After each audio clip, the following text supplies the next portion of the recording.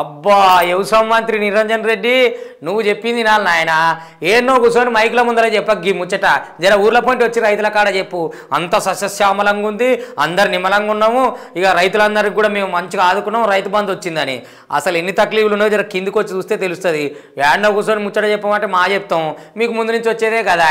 అసలే మీకు లీడర్ ఎవరు? రైతేడ్చిన రాజ్యమో ఎద్దేడ్చిన యౌసమో ఉండదు బాగుండదని సామెత ఒకటి ఉన్నది. అది రైతు బంధు పథకంతోని రద్దయిపోతున్నది అని అనుకుంటూ వస్తున్నాడు చూడుర్రి మంత్రి నిరంజన్ రెడ్డి సారు. రెండు కోట్ల మందికి వ్యవసాయం మీద బతికేటట్టే చేసినాం ఇక.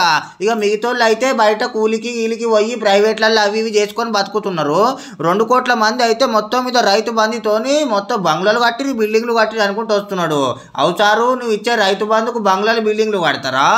ఇక వాళ్ళకు ఉపాధి చూపించినట్టే మంచిగా చేసి మందులు వేసినట్టే అనుకుంటూ వచ్చిండట.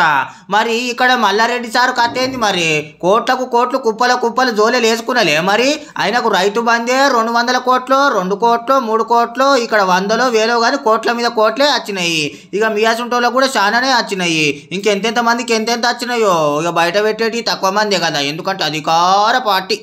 ఇక మొన్నటిదాకా వడ్ల ముచ్చడం మీద వానవాడి వరద పోయినట్టే చేసిరి అక్కడోళ్ళు ఇక్కడ ఇక్కడోళ్ళు అక్కడ బాగానే అనుకున్నారు. ఇక ఇప్పుడు రైతు బంధు మీద పడ్డరు. సస్యశ్యామలమైన తెలంగాణ నడుస్తున్నది రైతు బంధు. ఖతర్నాక్ వస్తున్నది అనుకుంటా పోతున్నారు చూడుర్రి ఒక్కొక్కళ్ళు. ఇక ఏం దాకా అవుతుందో ఏడు దాకా ఇస్తారు. ఒక దళిత బంధు సంగతి కూడా చూడుర్రి సార్లు. మిటమిటా చూస్తున్నారు కళ్ళతోని.